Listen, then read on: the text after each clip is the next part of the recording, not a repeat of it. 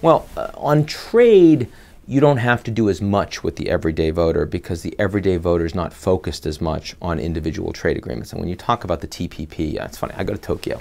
And uh, during this, this spring, there was an Occupy Tokyo movement in Roppongi Crossing. There were three Japanese people there. They were holding signs. Two of them were anti-TPP.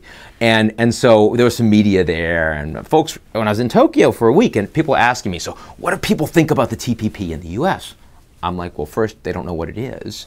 So this is not a problem, right? It's like when the Canadians will say, well, you know, what does the U.S., what does the U.S. think about Canada? I'm like, you know what? The U.S. doesn't think much about Canada. And from your perspective, that's probably useful. Because if they thought more about Canada, they'd stop you from doing stuff with China. So do you really want that, right? I mean, seriously, don't be obnoxious about it, Canadians. Ask, tell me what you really want. Because you know, they want to be avoided, is better for them.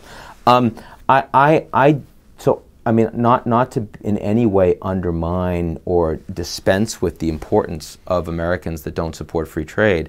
I am less concerned about being able to get TPP through the working class in the United States.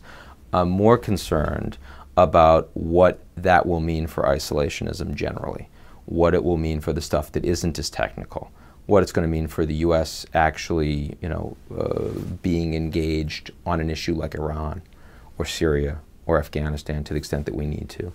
Um, what it means for the United States supporting a climate deal. Uh, what it means for the United States really doing a whole bunch of lifting because just because there won't be the United States as the world's sole global superpower, the U.S. is still by far the strongest leader out there. No one is close, right? It's not like they're catching up fast. No one is close. On the military, no one is close. On entrepreneurship, no one is close.